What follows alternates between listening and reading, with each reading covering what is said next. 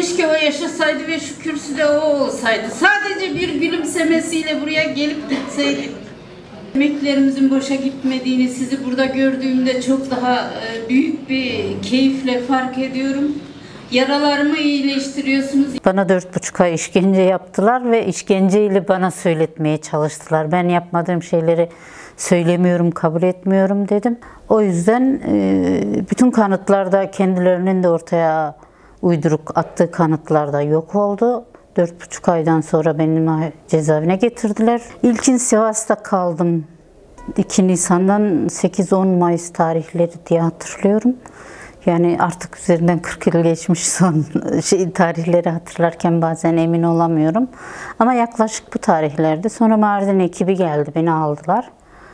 Mardin Çarşı Karakolu'na getirdiler. Orada bir ifade aldılar. Ondan sonra gözlerimi bağlayıp Mardin e, Jandarma Tugayı'na götürdüler. Haziran başına kadar orada bana bir sürü işkence yaptılar. Elimi kolumu bağladılar, dövdüler, jopladılar, ne bileyim job, kalas, tekme, askı.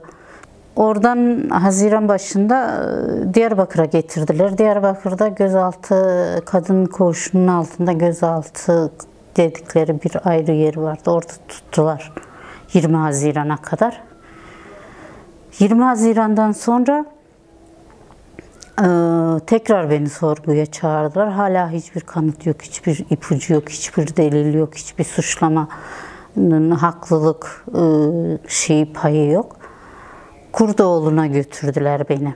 Kurdoğlu'nu o zamanlar herkes biliyor. E, hatta Musa Anter'in de dediği gibi Nevala Kasaba, Kurdoğlu, Cehennem Deresi gidip de sağ gelmeyenlerin e, gittiği, götürüldüğü yerde. Zaten ben ikinci kez götürülürken cezaevindeki kadın arkadaşlar yanımdaydı. Ve hepsi bana oraya gideceğim diye bir cenazeye bakar gibi bakıyorlardı. Geriye sağ geleceğimi kimse e, şey yapamıyordu, ihtimal veremiyordu. E, hatta Sakin arkadaş bana dedi ki seni vermeyelim, koğuşça direnelim. Hatta gerekirse bütün cezaevi direnelim. Seni vermeyelim. Çünkü oraya gidenler sağ gelmiyor. Ben düşündüm, cezaevinde e, ölüm oruçları yeni sonlanmıştı. Birkaç ay olmuştu. E, böyle şiddet, dayak, fizik işkenceler yeni durmuştu. E, sadece birkaç uygulama kalmıştı. Tek tip erkek koğuşları. Kadın koğuşunda hiçbir uygulama yok. Sayım düzeni ve İstiklal Marşı okuma. Onlar erkek koğuşlarında var ama kadın koğuşları hiçbir uygulamayı kabul etmemişlerdi. Kadın koğuşları bir tek sayım düzeni ne gidiyorlardı. Ama bayağı toparlanmışlardı kendi aralarındaki davranışlarında, ilişkilerinde, şeylerinde. Esat Oktay'ın bıraktığı kırık dökük şeyleri unutmaya çalışıyorlardı. Ben o arada yeniden bir direniş başlarsa tekrar eskiye dönülebilir ihtimalini düşündüm ve arkadaşlar yıllarca o acıyı çekmişler. Tekrardan onlara böyle bir acı yaşatılmasın diyerekten hayır dedim. Herkesin böyle bir riske girmesi doğru olmaz. Bedeli neyse ben ödeyeceğim. Ve tekrar gittim. 20 Haziran'dan Ağustos'un 20'sine kadardı zannederim. Orada her türlü işkenceyi yani Mardin'in iki katı, üç katı. Dört erkeklerle beraber bırakıyor, tutuyorlardı aynı bölmede, bir salonda. Herkesin gözü bağlı. Böyle insanlar şey gibi, ama gibi ya da hani e, başı kesik tavuk diye bir tabir vardır halkın dilinde. Başı kesik tavuk gibi böyle şey gibi el yordamıyla yürür gibi hareket ediyorlardı. Herkesin gözü bağlı. Bazen göz bağını çekiyordum yukarıya. Etrafıma bakınıyordum. Müdahale edecek kimse yoksa etrafı izleyebiliyordum. Öğretmenler, öğrenciler, doktorlar, avukatlar yani bu ülkenin ne kadar değerli, ne kadar e, aklı başında, ne kadar üretken ve ne kadar çok şeyi değiştirecek zihni sahibi insanlar varsa hepsi oradaydı. Avukat e, Fethi Gümüş benim gözümün önünde döve döve dizini parçaladılar. Dizinden akan kanlar ayaklarını, ayakkabılarını dolduracak kadardı. Ee, Doktor Fevzi Azizoğlu. Benim kaldığım süre boyunca hep oradaydı. Bana öyle işkenceler yaparlardı, getirirlerdi. insanların yanına bıraktıklarında bir de çıplak bırakıyorlardı. E zaten de herkesin gözü bağlıydı. Çıplak da olsan, giy- giyinlik de olsan. Zaten çıplak bile olsan insanların öyle bir zihniyeti vardı ki dönüp bakmazlardı bile. Fevzi Azizoğlu gelirdi yanıma, e, kontrol ederdi, bakardı, e, ayak ucumdan saç ucuna kadar masaj yapardı. Beni ayağa kaldırırdı. O cenazeyi canlandırır, yürütürdü. O sürede işkencede kaldığım günler boyunca hep oradaydı ve her gün bunu yaptı. Sonra tabuta koydular. Tabut dediğim yani sadece ayakta durabileceğim, oturamayacağım, uyuyamayacağım, dinlenemeyeceğim. Sadece ayakta durabileceğim yer ve üç gün boyunca yemek de vermediler.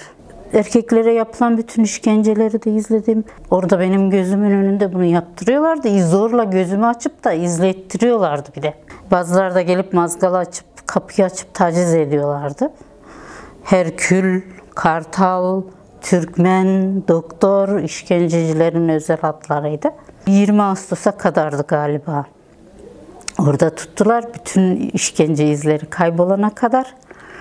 20 Ağustos'tan sonra cezaevine getirdiler. Bu sefer direkt kadın koğuşuna bıraktılar. Hiç gözaltı kısmına falan bırakmadılar. Ve 15 Ağustos günü de mahkemeye çıktığımda direkt tutuklusun dediler. 16 yıl ceza verdi mahkeme. Sonra indir neyden indirim yaptılar? Bir şeyden indirim yaptılar. 13 yıl 4 aya indirdiler. Sonra infaz yasasında bir değişiklik oldu. 8 yıl yatmam gerekiyordu. Bu süre 6 yıla düştü. Ondan sonra ben 6 yıl boyunca tutuklu kaldım. 29 Ekim'e kadar 88-29 Ekim'ine kadar Diyarbakır cezaevindeydik. Beş nolu diye tanımladığımız cezaevinde kadın koğuşunda. Sakine Heval e, zaten e, uzun süre cezaevi dönemi olan birisiydi. Oradan önce Elazığ cezaevinde, Malatya cezaevinde de kalmış. Oraya da gelmiş. Esat Oktay'ın e, bütün şeylerini kalmıştı. Hatta ben ilk gördüğümde yüzünde bir eğrilik vardı ve yani tepeden tırnağa o kadar kusursuz bir görüntüsü olan insanın yüzünün çenesinin arkası niye eğri diye şey yapardım. Bakarak kendi kendime sorardım yani nasıl bir şeyse insanın gözüne takılıyor, zihnine takılıyor işte. Meğerse Esat Oktay çenesini şöyle şuradan büke büke büke ayırmış. Arkadaşlar, hemşire arkadaşlar vardı 2-3 tane o zaman cezaevinde. Onlar bunlar kendi aralarında kendi yöntemleriyle düzeltmişler ama ne kadar düzelttilerse bile o eğrilik hala duruyordu. Çok sıcak bir insandı. Çok samimi bir insandı. Söylediğiyle yaptığı aynıydı. Çok hassastı. Her şeye duyarlıydı. Çevredeki seslere, tınılara, soğuğa, sıcağa, insanların yüz ifadelerine, bakışlarına, yürüyüşlerine kadar her şeyden bir tahmin çıkarırdı. Her şeyden bir yorum çıkarırdı ve yorumlarının yüzde 80-90 hatta 99'u diyebileceğim doğru çıkardı. Çok tavizsizdi. Çok doğal karşılanması gereken ihtiyaçlarımızı bile karşılamıyorlardı. Ben bunları isteyelim, bunları isteyelim dediğimde yok ya sistemin adamlarından biz bunları niye isteyelim diyordu. Ama yine de dedim ki yani biz isteyelim, vermeyen onlar olsun. Oturduk, dilekçe yazdık. Ee, kaç maddelik? Yaklaşık 10 maddelik talep dilekçesi yazdık. Ee, o ara toprak istedik. Ben şeyleri çok seviyordum, bitkileri. Arkadaşlar, ziyaretçi gelen arkadaşların bazıları çiçek getirmişlerdi. Çiçekleri de ben alırdım, hep suya koyardım daha uzun süre yaşasın, kalsınlar diye. Bir tanesi suyun içinde cillendi, kökleşti. O dedim bu böyle bir kökleştiyse o zaman ekince büyür. E, ama ekecek toprak yok. e, kantinden getirdiğimiz soğanların köklerinde kalmış toprakları, şeyleri onları toparlayıp şey yapmaya çalıştım. Bazen çay atıklarını da toparlıyordum. Onlardan onlara bir saksı yapmaya çalıştım. Benim o şeyimi gördüğü için dedi ki gel toprak da isteyelim getirsinler. Halkı çok seven, insanları çok seven, özellikle de çocuklara çok hassasiyeti olan bir insandı. Etrafında bir sürü çocuk olsun isterdi. Böyle gelsin kuşatsınlar, sarsınlar, sarmalasınlar.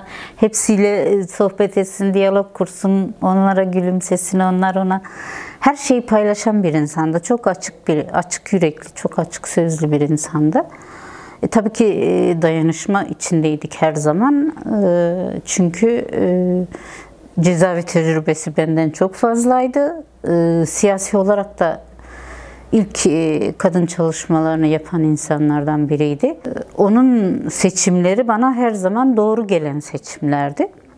O yüzden de dayanışmamız her zaman vardı. Her insana sıcaktı, her insanın sorunlarıyla ilgilenirdi, varsa sorun. Yoksa her insanın kafasını açacak, çözümleri üretecek, her insanı kucaklayacak gardiyanlara bile şey gösteren, kadın gardiyanlara e, yakınlık gösteren, samimi olabilen, onların içlerinde kendi sorunlarını rahatça anlatıp paylaşabileceği kadar yakın olan bir insandı. Bu kadınların ülkeyi yönetecek güce sahip olduklarını, ülkeyi ve dünyayı yönetecek e, yetkinlikleri olduğunu fark ettim. Ve e, bu kadınları burada bu kadar güçlü insanı bir arada görmekten gurur duyduğumu söylemeye çalıştım. Ve yaralarımı iyileştiriyorlar dedim. Gerçekten de e, bu kadar insanla birlikte olmak, hem fikir olmak yani özellikle kadın odaklı birlikte olmak. Çünkü kadın konusu e, yüzyılların, bin yılların sorunu. Yüzyıllardır birçok şeyi kullanamaz duruma gelmiş birçok e, değeri üretip de sahibi olmayan durumda kadınlar. E, burada hem değer üreten kadınlar hem de değerlerine sahip çıkan kadınlar hem de bütün kadınların e, bu yönde gelişmesi için kendi varlıklarını ortaya koyan kadınlar olduğu için ben gördüğüm bu değerler karşısında gurur duydum, mutlu oldum. Ben o mutluluğumu belirttim. Yaralarımı iyileştirmesi de bu anlamdaydı. Beklentilerimiz yıllar önce kurduğumuz hayaller de bu yöndeydi. Biz zaten kendimiz için ya da birbirimiz için değil, bir ülke için, bir dünya için, bütün insanlık için biz bir yola çıkmıştık. Her şeyi göze alarak yola çıkmıştık. İşkenceyi de, zulümü de, ölümü de, işte buraya gelebilenlerden, o resimlerdeki arkadaşlarımdan bir tek ben varım. Sağ tarafta gördüğünüz Sakine Cansız'ın koğuş arkadaşım.